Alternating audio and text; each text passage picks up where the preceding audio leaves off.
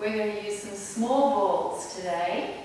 So I have my balls slightly bigger than Sue has some smaller balls. You may recognise those as being Franklin balls. These are balls called the miracle ball method. Any balls that have air in them, because the whole idea about our balls sequences, which are part of our training unit called Teach Balls Repertoire in Pilates, is to add a little bit more challenge. Today we're going to use them to destabilise us, to, so to practice our balance a little bit more. We're going to use them under our hands, we're going to use them under our knees, and if you're really lucky by the end, you might get a bit of relief by putting them under our back. So moving over into your full point kneeling position, place one ball under your right knee and then the other under the left. And you've got to find that position just under your patella or under your kneecap. Placing your hands underneath your shoulder joint and plantar flexing the feet so that the tops of your feet are facing to the floor. Breathe in. As you exhale, draw your abdominals up towards your spine and your armpits down towards your hips as if you've got that limited edition favourite book under each armpit. Again, breathe in. Breathe out, draw the abdominals in and pull that book tight in under your armpits. And on the next inhale, we will flex at the knees, taking your feet off the floor. And exhale, take them back down to the floor. Not moving in the spine. Inhale, flex, feel your hamstrings activate. And exhale, placing the feet down. Inhale up, keeping the back of your neck reaching up towards the ceiling. Exhale down. Let me see those spines stay in neutral. Come on guys, you can do it. It's challenging your balance. Get a bigger flexion. Try and get those heels to your buttock, heel to your buttock, heel to your buttock. And exhale, going down. Now we do a few cat curls and arches. We're going to inhale, prepare. Exhale, let your tail go towards your pubic bone and the back ribs up to the ceiling. Nice deep exhalation. Inhale back to neutral. Exhale, tuck your toes under and continue into an arch. So you're taking your chest forward, but thinking of C7, the lowest cervical vertebra, reaching up to the ceiling and your abdominals are reaching to your spine. Inhale back to neutral. Exhale, curl up into that lifted abdominal position, ribs to the ceiling. And inhale to neutral. Long through the crown of your neck. Tuck your toes under and exhale. Go into an arch. Pull your upper body forward. Don't hinge back further at the hips. Keep those armpits towards your hips by locking in your favorite book and inhale to neutral. Now bring your hands a little bit closer to you. We do that with a greater challenge now. So we're going to do it. You can choose. You can have your toes like this. In fact, we'll do a couple like this, and then we'll do them with the hands under. So inhale and arch. So lifting your chest up, lift the back of your neck towards the ceiling and activate the back of your arms and the shoulder stabilizing muscles. Lift your abdominals up. And inhale through neutral. Exhale, push the heels of your hands away and curl, scooping deeply into the abdominals. Inhale to neutral. Exhale, pull the hands towards you, open your sit bones, lift the abdominals and lift the back of the neck to the ceiling. Last one through, inhale at neutral. Exhale, tuck, curl and push your hands away and inhale neutral. Peel one hand off like a cat and take it forward and then the other one and plant the tops of your feet towards the floor. We're going to do what you might know as reverse abdominals on the reformer. You can do the first couple with our feet down, then we'll lift them up. So inhale, exhale, bring your knees towards your hands. Keep your sits bones open and still in neutral. Inhale back to the previous position. Open your sits bones, keep them open. Crown of your head reaching forward. And exhale.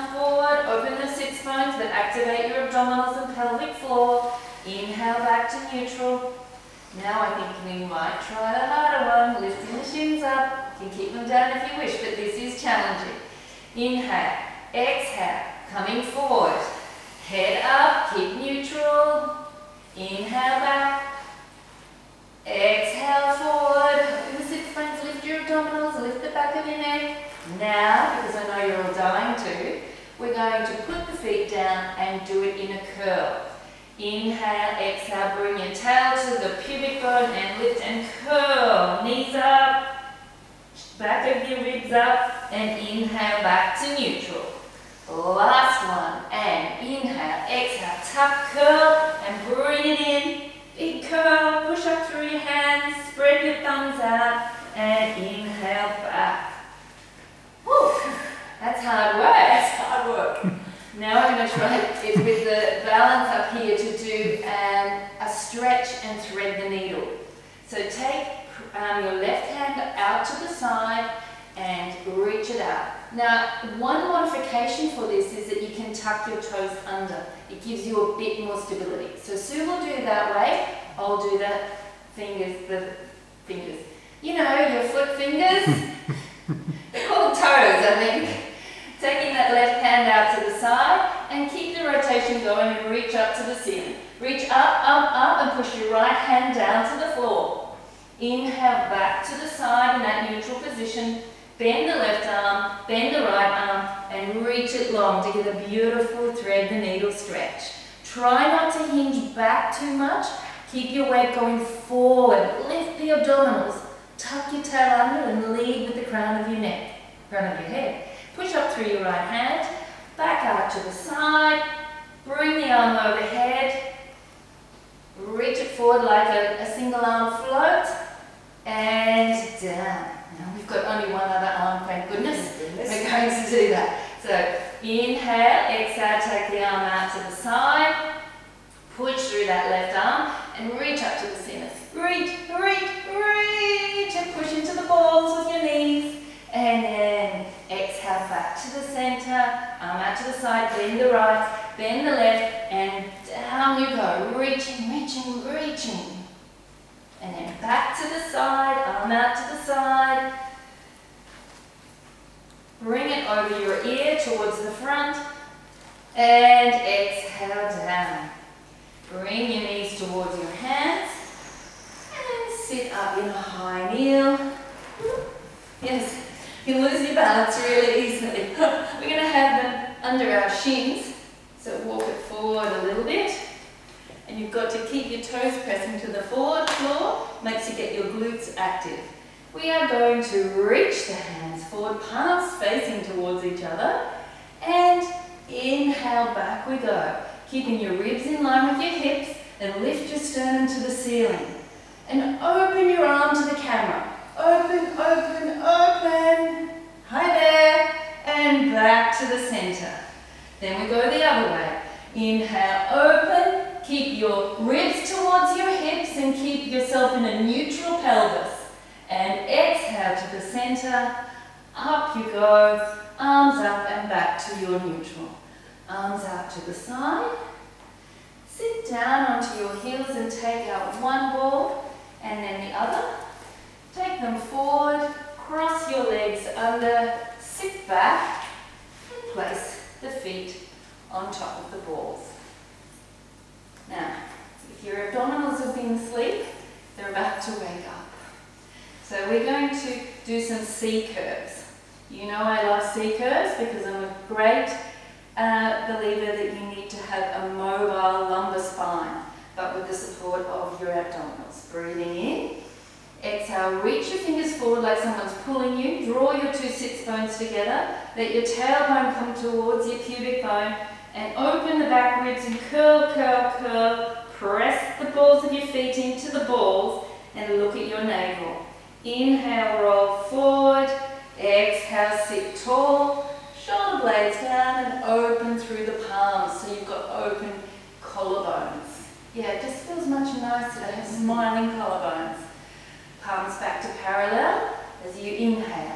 Exhale, roll back. Sits bones together, navel to spine. Open the back of the ribs, press your feet down into the balls Inhale, roll forward, nose over your knees. Exhale, sit tall, shoulder blades down, and collarbones open.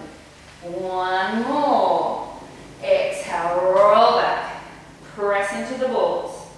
Inhale, roll forward. Exhale, sit tall. Oh, now that was nice. That was nice and easy. So let's go for the finale.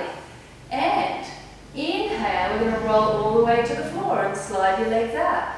Exhale, roll down. Get your sacrum to the mat, lower ribs, upper ribs, head and arms on the floor behind you. Inhale, take your arms up, your head up, and roll up and bring those balls back in and sit tall. You might have to readjust because they do like to run away on you. Inhale, exhale, scoop back in your C curve, start to roll the balls out, straighten your legs, straighten your arms overhead. Inhale, head up, arms up, roll up, press into the balls and bring them in and heels down. Last one, inhale. Exhale, scoop, curl, reach those arms away, straighten the legs out, sacrum on the floor, lower ribs, upper ribs, head, arms. Inhale, arms up, head up, roll, scoop those abdominals towards your spine and bring the legs in. Take hold of those and bring them up. Now we're going to actually place them at the back of our shoulders, so just about here, to give us a little a release from some tight shoulders. So rolling down and find a position. It's, gonna, it's just a release for the shoulders. Uh, so almost just inside the um, lower tips of your shoulder blades. And extend over, draw your abdominals to your spine and have your hands in a cactus position or capital E. Breathe in. As you exhale, I want you to draw your shoulder blades down and bring your elbows and forearms and palms to touch each other. Inhale like you're pulling out a piece of chewing gum that's stuck to the palms of your hands to externally rotate and go back down to the floor. So don't get there now, that's no problem because you'll work up towards that. Exhale, forearms, elbows, palms together. Press your feet into the floor. Think of your knees and inner thighs coming towards each other. Inhale and open slowly with intensity of stretching. Inhale there and exhale, coming back. Squeeze the palms, the forearms and elbows together. Slide out your right leg, slide out your left leg, reach both hands to the ceiling, keep them together like you're pressing your palms, and we're going to roll up through a roll up. Inhale, head up, exhale, pushing into the balls. You can flex your feet here if you wish to, and roll up, squeezing the arms together. Take hold of your toes or your shins and pull them towards you and arch up. Just to get a nice stretch through the legs and the calves. One, two, three, four, five, six, seven, eight, nine, ten. And sit tall. Find those balls and scoop yourself slightly forward. Put them on either side of your SI joints. Is that a one or a four? Five. Okay, I think we have five minutes left. One minute left. So we are going to place them either side of our uh, sacrum. Reach your arms the ceiling, like a nice arm float, and do five circles in going outwards, outwards, outwards. So gentle circles, so the head of the humerus, your humerus being your upper arm, is getting nice juicy lubrication in the joint capsule. Then we go the other way, and a one, and two, and three, and four, and five. Holding your arms with your fingertips reaching to the ceiling, palms towards each other for a set of eight knee floats. Inhale, exhale, float your right leg, inhale down. Exhale, float the left leg. Don't move your pelvis. And inhale down. Exhale, right leg goes up, but press your left foot to the floor for a bit of stability. And inhale down. Exhale up. Try not to move your pelvis because I've taken away one of your bases of support. So if you're someone that has tension in your neck and shoulders, you probably rely on your arms and your shoulders a little bit too much when we do knee floats. So let's focus on the abdominals. We have two more each side. One. And down. Exhale up. Inhale down. Let me hear that breathing. See you deep in the abdominals, drawing towards your spine. And last one. And lower. Breathe in, reach your fingers up further to the ceiling. Reach, reach, reach. And then drop the backs of your shoulders to the mat. Lower the arms.